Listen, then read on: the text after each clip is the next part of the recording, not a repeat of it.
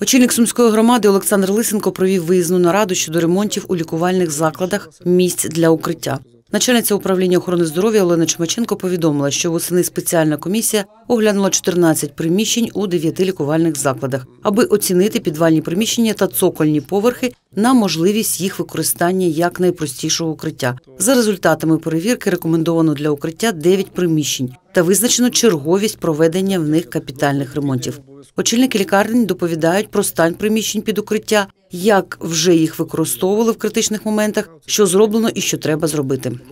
Що ми зробили? Ми зробили, заремонтували най, найпростіше укриття 365 метрів квадратних. Е, і е, повністю 203 метри квадратних коридор повністю зробили.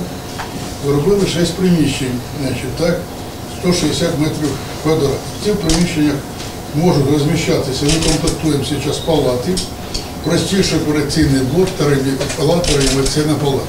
Для того, щоб можна було надавати допомогу, ну, відповідно, комплектуємо і палати. У нас є одне приміщення е, трошки більше 500 квадратних метрів, яке зараз е, е, обладнано простим укриттям, тобто там є місця для перебування, запаси води, ну все необхідне для того, щоб більш-менш е, бути в безпеці. Е, Зараз виготовляється проєктно-кошторисна документація, до кінця місяця буде виготовлена і в принципі е, ми готові до того, до того, щоб максимально відремонтувати ті, приміщення, частину приміщень, які зараз непридатні для того, щоб е, там люди перебували. Сумський міський голова Олександр Лисенко говорить, безперебійне медичне забезпечення для громади це питання номер один. І ось за рахунок чого треба його досягти. Перше це енергетика, електрозабезпечення. Ми встановлюємо відповідні генератори, які на час зникнення електроенергії ми з вами вмикаємо. І мінімум у нас тижневий запас, а запас на тиждень він є, є у нас у виконавчому комітеті в виді закупленого палива, який ми потім вам видаємо, якщо треба бути на більше на більше часу, десь до місяця, щоб ми могли з вами в такому режимі працювати. Друге, ми розглядаємо питання закупівлі не генераторів, а електростанцій, тому що ця ситуація може бути надовго. І ми зараз опрацьовуємо по різних: це водоканал, медична галузь в першу чергу. Тобто водопостачання, водовідведення і медична галузь у нас повинні бути готуватися до того, що можливо ми замінимо ваші генератори на електростанції, заберемо їх на інші напрямки, а вам поставимо електро, електростанції. Це, це друге, що ви повинні надавати свої пропозиції, вже продумувати це. Третє це безпека. Тобто у нас енергозабезпечення і безпека. Безпека це також безперебійне надання медичної послуги. Коли можливо, ну дай Бог, щоб цього не відбувалося, операції треба буде проводити також в підвальних приміщеннях, і для цього треба також, можливо, умови готувати. Це вже складна ситуація. Але просто забезпечити безпеку, щоб у нас хворі і лікарі знаходилися в безпечних місцях під час повітряної тривоги недовго тривала вода, бо дай Бог, щоб нам цього не потрібно було. Але хоча б повітряної тривоги в першу чергу ми повинні забезпечити. Після наради огляд підвального приміщення під укриття пологового будинку Пресвятої Діви Марії. Його облаштували за рахунок коштів, які заклад заробив на наданні послуги за програмою медичних гарантій. З початку війни приміщення стало в нагоді. Малеча з'являлася на світ саме тут. У цьому приміщенні підвальному було прийнято 30 пологів та навіть один ургентний кесарів розтин нам довелося провести. Олександр Лисенко зазначив, що у лютому місяці будуть зміни до бюджету, тому оперативно чекає від очільників медзакладів пропозицій. Ремонт об'єктів укриття це один з безпекових пріоритетів. Тому закінчити всі роботи треба до кінця першого кварталу.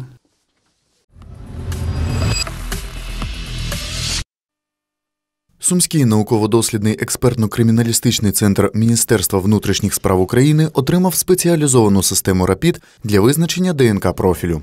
Презентував спецлабораторію директор державного НДКЦ Сергій Кримчук. Сьогодні за допомогою такого приладу е, в Сумському регіоні буде можливість формувати свою децентралізовану базу профілів осіб, які підозрюються в скоєнні злочинів або можуть бути причетні до скоєння різних злочинів. Але насамперед метою встановлення такого приладу і організації роботи сьогодні є те, що він буде працювати під час е, війни. Е, Сьогодні ваша, е, ваш регіон є прикордонним, прифронтовим регіоном, і за допомогою цього приладу ми зможемо дуже швидко ідентифікувати, на превеликий жаль, тіла наших загиблих воїнів, які не шкодують свого життя, захищають нашу державу, забезпечують нам роботу, в, яких ми, в яку ми працюємо, в таких умовах, які ми сьогодні є. І цей прилад на протягом 90 хвилин може ідентифікувати, е, виділити ДНК-профіль, е, помістити цей ДНК-профіль в цей прилад і з всіх зразків, які в ньому знаходяться, ідентифікувати споріднену людину, родича по, е, по цій базі. Це пристрій дозволяє це робити, як я сказав, е, протягом 90 хвилин. Якщо говорити про е, повноцінну ДНК-лабораторію, то повноцінну ДНК-лабораторію для того, щоб виділити ДНК-профіль людини, потрібно 4-5 годин. За допомогою цього цю роботу можна зробити, як я сказав, на, фактично за півтора години. Крім того, за допомогою цього приладу будуть ефективніше і набагато оперативніше розкриватися злочини, е, правопорушення, які будуть скоїтися в регіоні. Працівники поліції зможуть, як я сказав, е, відібрати ДНК профілів підозрюваних осіб, повістити в базу, а також в подальшому е, з порівнювати сліди біологічного походження, вилучені з місць нерозкритих злочинів з тими особами, які, на їхню думку, будуть, можуть бути причетними до вчинення цих злочинів. Крім того, даний прилад дозволяє сьогодні вирішувати спори, які знаходяться в судах. Тобто ми говоримо сьогодні про спірні моменти щодо батьківства та материнства. Тому люди також можуть е, прийти до центру, здати ДНК-профіль свій, дитини, батька і таким чином визначити е, спорідненість, ідентичність дитини, чи ця дитина народжена в цій сім'ї чи в іншій сім'ї, встановити таким чином батько чи матір е, дитини. Тому ми продовжуємо працювати над тим, щоб якомога е, більше, ефективніше підтримати насамперед е, Сумський науково-дослідний експертний центр. Сьогодні ми е, відкриваємо, е, можна сказати, ДНК-лабораторію, але подальше ми будемо працювати над тим, щоб розвивати і підтримувати інші напрямки криміналістичних досліджень, які сьогодні проводять наш е, Сумський науково-дослідний центр. Допомагали в придбанні системи РАПІД і народні депутати від парламентської фракції Слуга народу.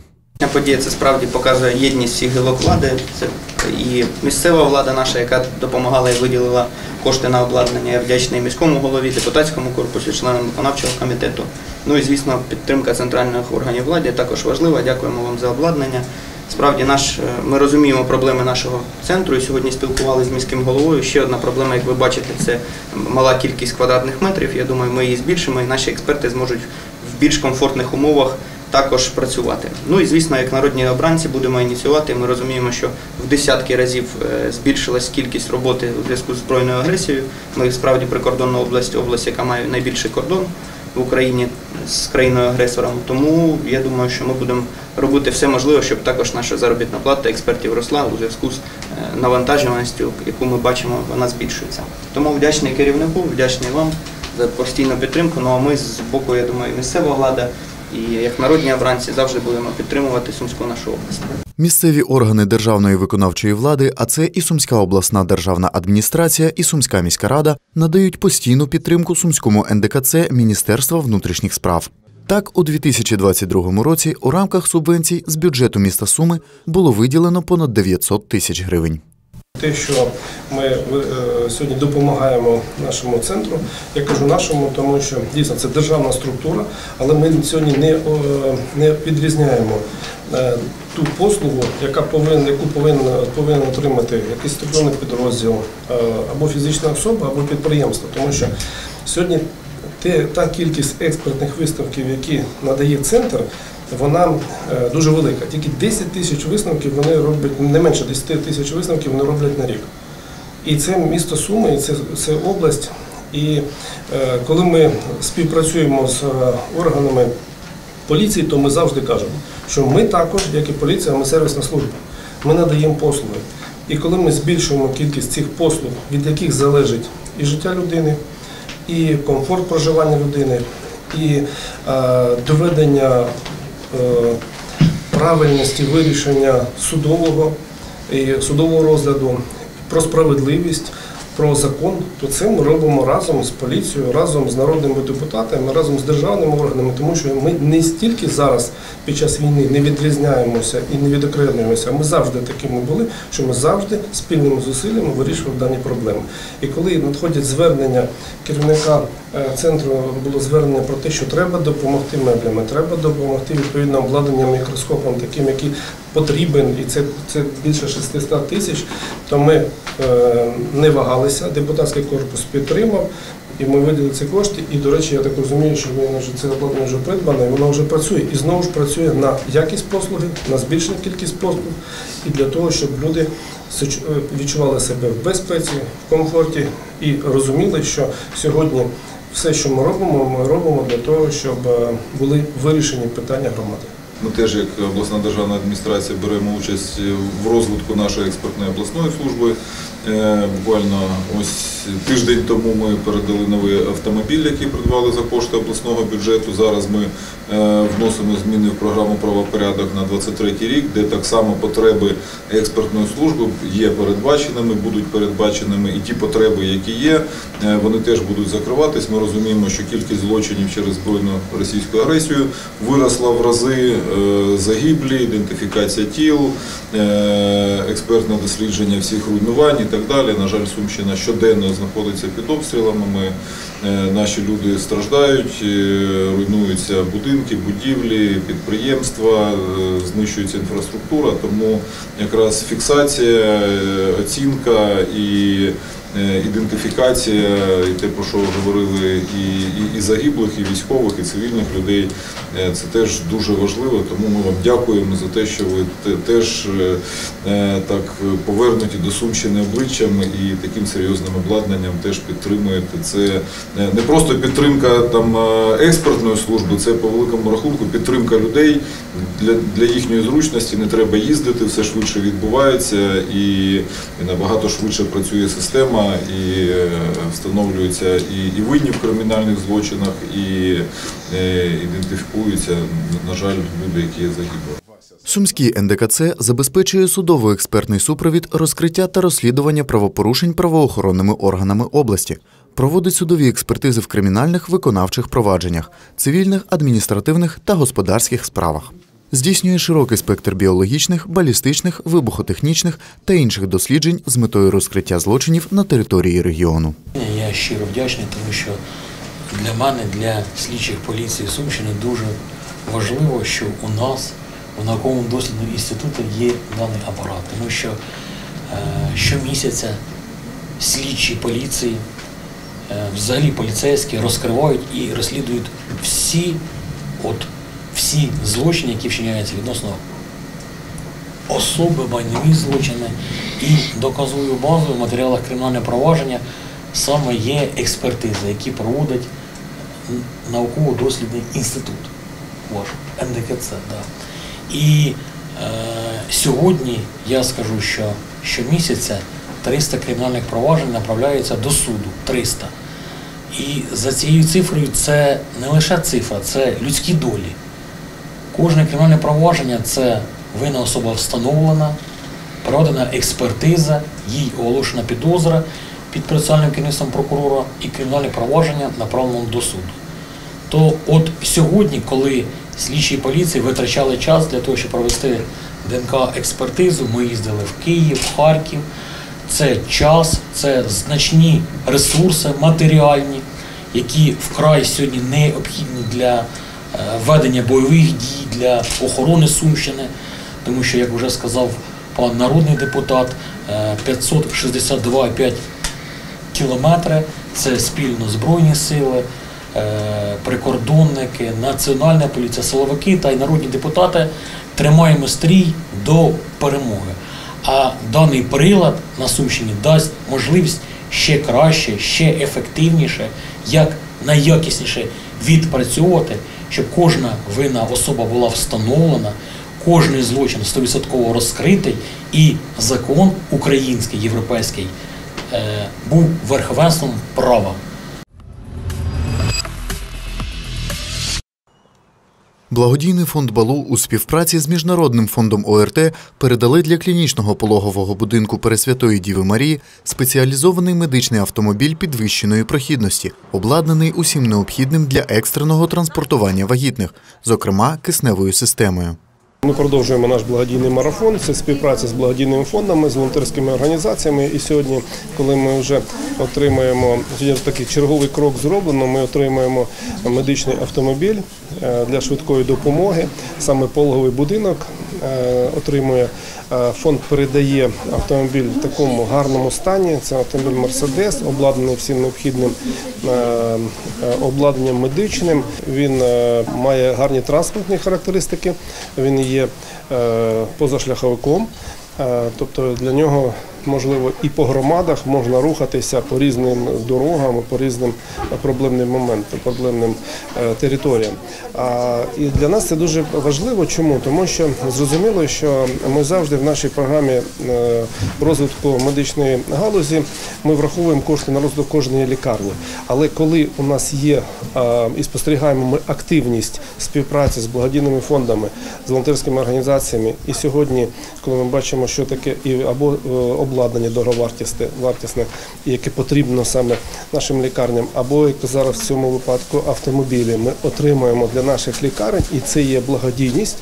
І це є безкоштовно. Для нас це дуже дуже важливо. Ми дякуємо сьогодні нашим благодійникам. Е, Це міжнародний фонд, е, благодійний фонд ОРТ, і також наш е, український, наш сумський благодійний фонд Балу за те, що вони при відповідній співпраці між собою е, з перемовинами, відповідними перемовинами з керівництвом пологового будинку прийняли таке рішення. Ми довго до цього йшли, і сьогодні ми бачимо вже конкретний результат. Ще раз хочу сказати, що Е, Для нас це дуже важливо і ми дуже дякуємо, тому що дітки, які народжуються, мамочки, які е, в стані вагітності, вони отримають можливості терміново потрапити, якщо це буде потрібно, в комфортних умовах до будинку. Директор благодійного фонду Балу Олександр Гриценко говорить: хоч фонд і створювався для підтримки дитячого спорту, у складні для країни часи допомагають усім.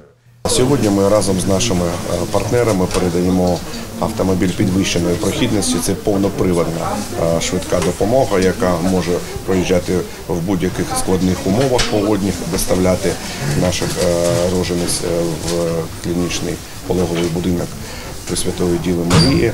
І ми завжди хочемо працювати на благо нашого рідного міста Суми. З перших днів фонд був створений для допомоги спортсменам, щоб дітки займалися і які мали е, великі досягнення. Ми інвестували саме е, в спорт. Але життя, як то кажуть, розділилося на до і після, і ми розуміємо, що зараз в державі досить складно, але е, разом з нашими донорами фонду, міжнародними організаціями ми допомагаємо нашому рідному місту Суми. Для клінічного пологового будинку це перша спеціалізована машина, яка буде в автопарку, зазначає директор Ольга Чирва. Ми отримали спеціалізований медичний е, транспорт е, Мерседес від е, благодійної міжнародної організації ОРТ та Сумського благодійного фонду Балу. Е, Насправді це дуже важлива подія, тому що наш пологовий будинок та колектив стоїть на варті жіночого здоров'я. І завдяки наявності такого спеціалізованого автомобілю е, наша допомога стане ближче до пацієнтів. Ми зможемо е, виїжджати е, до жіночого населення, до жіночих колективів та е, проводити е, скринінги на е, стан жіночого здоров'я. У Сумах за кошти міської територіальної громади придбали тренажери для навчання з тактичної медицини. Вони допоможуть у засвоєнні комплексних заходів, які здійснюються на полі бою, та спрямуванні на порятунок життя та запобігання важким ускладненням у військовослужбовців, які отримали травми і поранення. Інструктори кажуть, дуже складно було без спеціальних тренажерів відпрацювати такі навички, наприклад, як тампування чи проведення серцево-легеневої реанімації. Тепер заняття немов для професійних медиків. Очільник громади Олександр Лисенко каже, для сумських добровольчих формувань все по першому замовленню в потребах. Ми закупили спеціальне спеціальне обладнання для того, щоб могли наші бійці могли тренуватися, вони могли рятувати життя, щоб вони були в цьому фахівцями, вміли це і навички повинні вони е, отримувати безпосередньо на відповідних макетах, які е, дозволяють це зробити дуже дуже ефективно. Те, що от ми сьогодні зробили, це виділення 184 тисяч для того, щоб придбати обладнання, на якому тренуються уже безпосередньо для досвіду отримання практичного. Ну я вважаю, це, це дуже потрібно, тому що коли мені повідомили, що в них такого обладнання немає в цьому це в цьому центрі, де вони проходять навчання, і до речі, вже багато людей пройшли через цей центр. е, То ми прийняли одразу рішення допомогти виділити кошти, придбати. І сьогодні ми з представниками нашого управління охорони здоров'я е, передали, е, і хлопці вже тренуються. Ви бачите, вони вже відповідні навички, досвід вони отримують. Потрібний по тактичній медицині.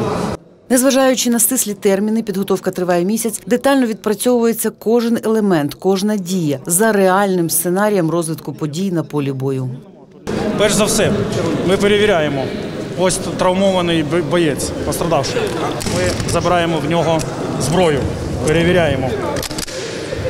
Так, він без свідомості. Ми так питаємося його трохи привести до, до тями. Якщо бачимо, починаємо продивлятися, де в нього якісь наявні, е, наявні травми. Тобто, е, саме найважливіше це артеріальні травми, тому що артерія вона ж швидко вибігає кров. Ви ж повинні це розуміти. Ми швидко його продивляємося. Якщо це можливо, ми питаємося з нього зняти бронежилет, каску і передивляємось усе. Він прийшов до тями. Я його питаю, що в тебе там ну, хвилює тебе. Він та це там болить нога, там так те, все там зможемо. Я буду його евакуювати. Я його підіймаю. Він каже, що у нього не спина, нічого у нього не травмовано. Каже, нога травмована, нога. Добре, я його питаюся за якийсь пагроб, за якесь укриття відтягнути. Я його підтягую і починаю такими рухами витягувати його на колінах, не підіймаючи силуету. Або можна його, якщо червона зона, щоб себе не наражати на небезпеку, я з ним, так, це буде важче, але безпечніше. Треба розуміти, що всі рятівники, медики, вони працюють в одиночку і фізично повинні бути розвинені.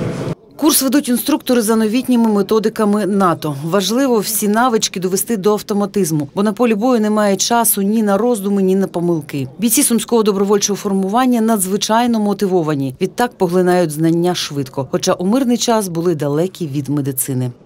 Найскладніше було е, з тампонацією, тому що е, треба було зрозуміти, наскільки е, глибока рана, і знайти ту артерію, яка, яку треба було зупинити. Це саме найскладніше для мене було.